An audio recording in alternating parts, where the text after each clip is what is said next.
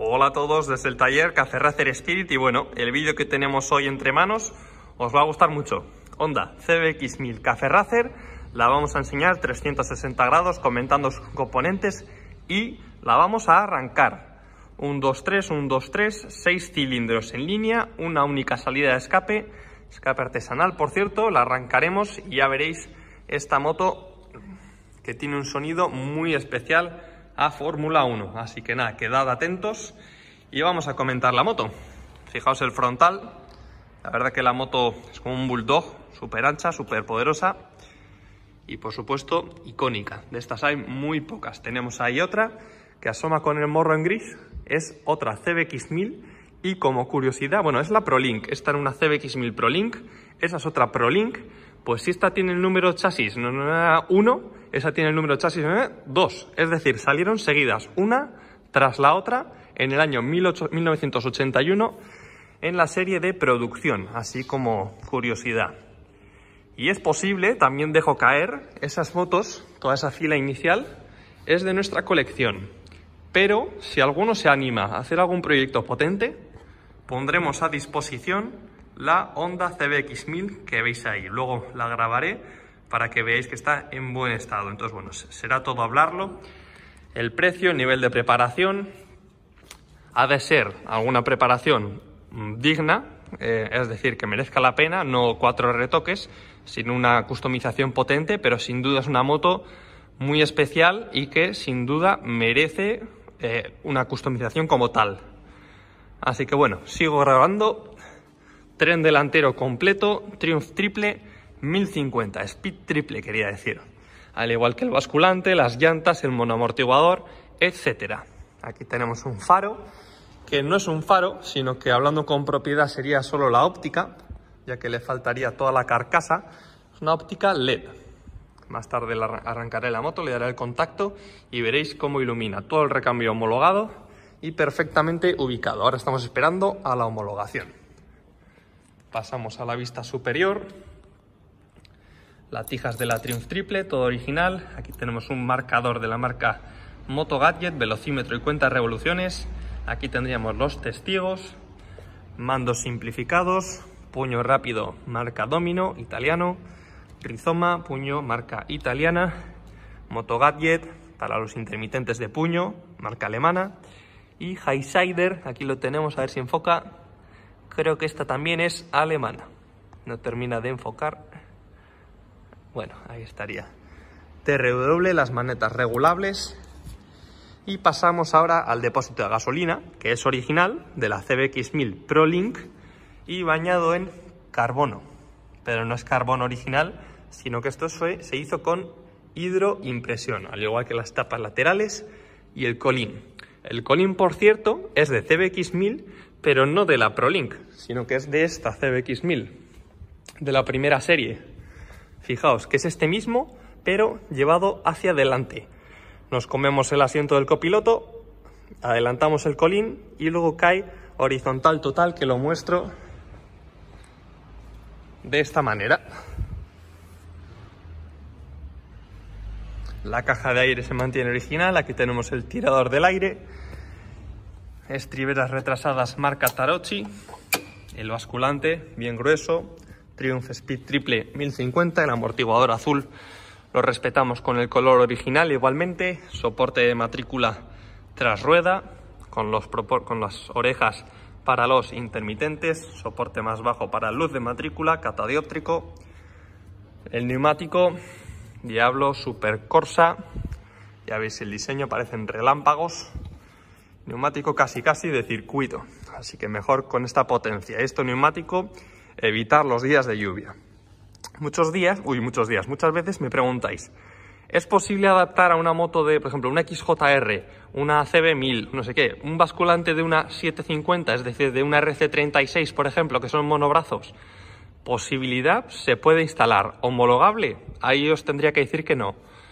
Hay que añadir mejoras. Entonces, a una moto, por ejemplo, en este caso de CBX1000, que es 1050 de cilindrada, no podríamos justificar un basculante monobrazo de RC36, que es 750 centímetros cúbicos y de menor peso, es decir, menores prestaciones, por decirlo de alguna manera, no se podría justificar como mejora y no podría homologarse. En este caso, es un basculante, como explicamos, de una Triumph Triple 1050, una moto más moderna, similar de peso y sería perfectamente homologable. Así que quedará homologado con dichos componentes. Igual, igual caso para el tren delantero, que es la misma moto donante, 1050, y no se podrían homologar o costaría más. Por ejemplo, tenemos un tren delantero de CBR 600. Mm, esto mejor habría que confirmarlo con el ingeniero, pero sospecho que no podría homologarse y siempre hay que tirar a cilindradas altas, por ejemplo, horquillas de R1, de Hayabusa, la 1300,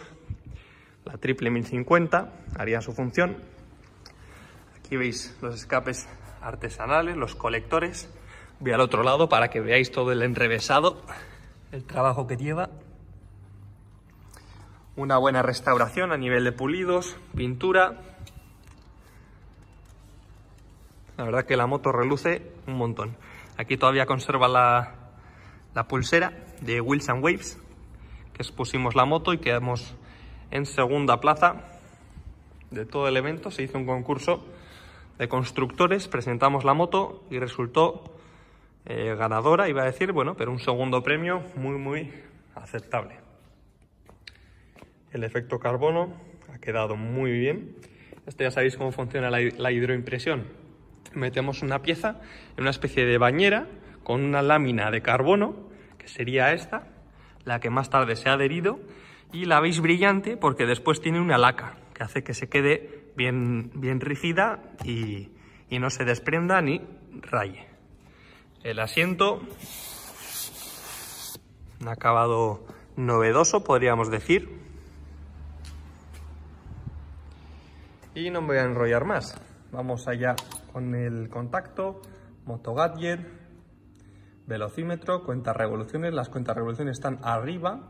Los testigos se ven aquí iluminados. Tirador del aire aquí grifo de la gasolina aquí, si os fijáis pone fuel, a ver que enfoque, fuel y la flechita pues ponemos para abajo porque será la reserva y aquí con los mandos simplificados arrancaremos la moto.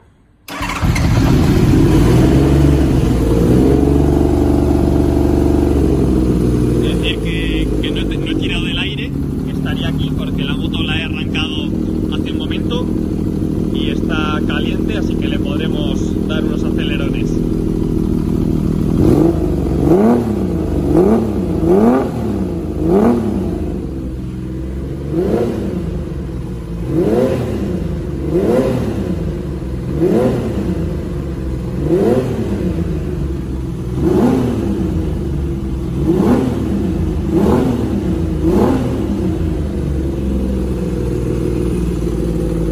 Sí que es característico, ahora cuando baja el ralentí, que se oiga un poco traqueteo.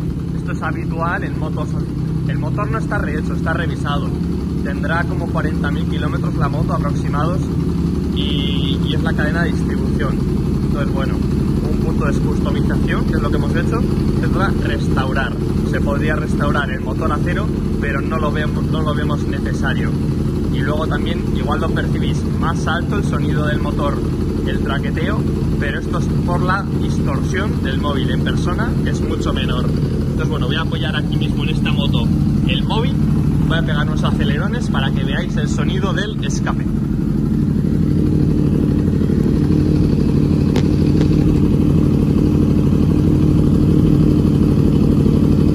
A ver si, a ver si logro que se mantenga.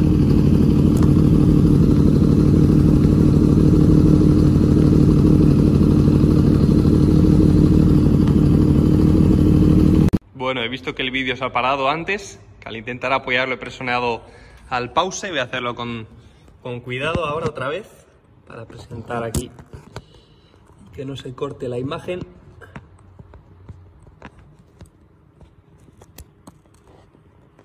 A ver si queda ahí grabando bien.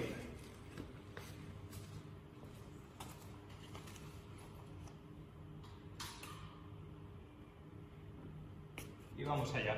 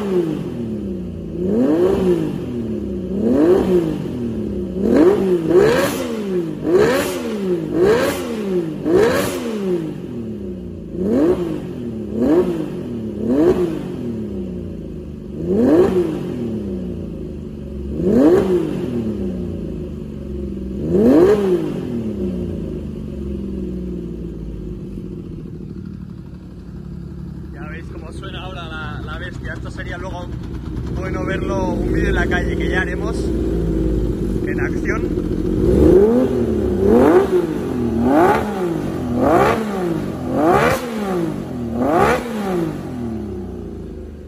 Y fijaos aquí cómo sube de vueltas. La verdad que está carburada para que vaya muy bien en altas y en bajas y medio, pues bueno, sería mejorable. Pero fijaos cómo sube los puntitos de vueltas.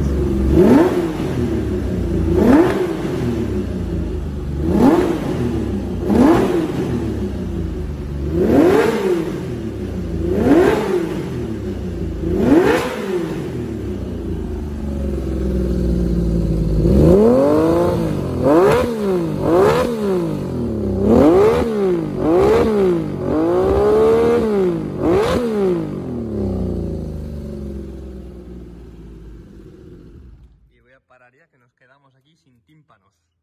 La moto me ha de que estuviera caliente, si no, no hubiera acelerado así para nada. La he dejado un muy buen rato a ralentí para que entrase en calor.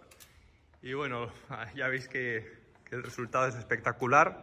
Un demonio hecho moto. Y bueno, si os ha gustado, like, comentarios y compartir con vuestros amigos y amistades. Venga, un abrazo.